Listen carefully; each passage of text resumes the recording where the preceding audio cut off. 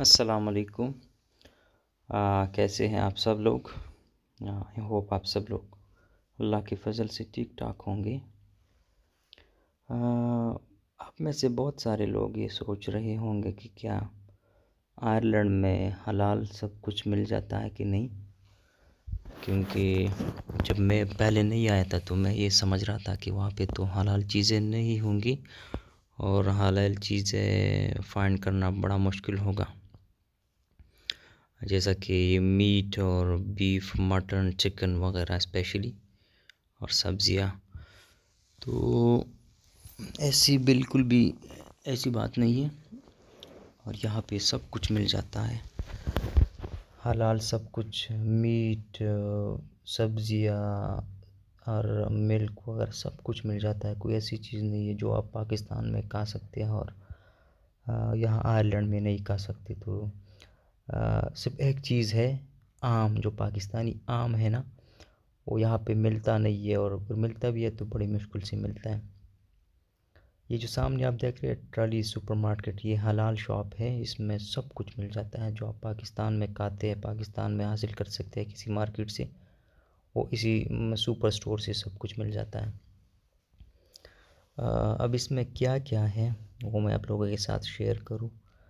ताकि आप लोगों के माइंड में जो बात है कि यहाँ पे हलाल मिलेगा कि नहीं मिलेगा तो वो क्लियर हो जाए। तो मैं बात कर रहा था पाकिस्तानी आम की। हाँ तो पाकिस्तानी मैंगो जो है वो यहाँ पे नहीं मिलते।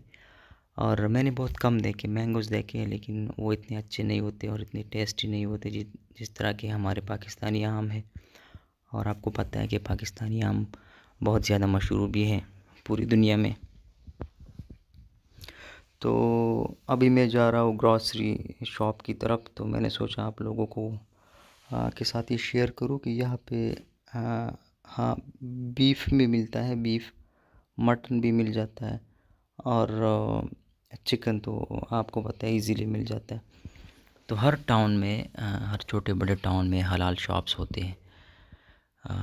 मैं जिस टाउन में रहता हूँ उसमें दो हलाल शॉप्स हैं। और एक पाकिस्तानी है और दूसरे शॉप के जो ऑनर्स है वो बंग, बांग्लादेशी भाई हैं। मैं आप लोगों को प्राइस भी बता दूँ तो यहाँ पे मटन जो मिल जाता है वो तकरीबन 10 से 12 यूरोस पर केजी और ये तकरीबन सेम ही है जिस तरह पाकिस्तान में मिलता है। तो मटन 10 से 12 यूरोस पर केजी में मिलता है।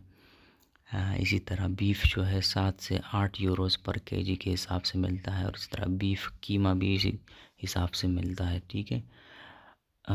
इसके अलावा जो चिकन है आ, वो डिफरेंट है। दूसरे एक शॉप में पाँच यूरो पे मिल जाता है दूसरी शॉप में फ़ोर एंड हाफ़ यूरोस पर चिकन ठीक है? ये बिल्कुल हलाल है। ये हलाल तरीके से इसको ज़बा किया जाता है और फिर हलाल शॉप्स में सप्लाई होती है और यहाँ के सारे हलाल, सारे पाकिस्तानी, बांग्लादेशी, अरबिक भाई जो है, वो इन हलाल शॉप से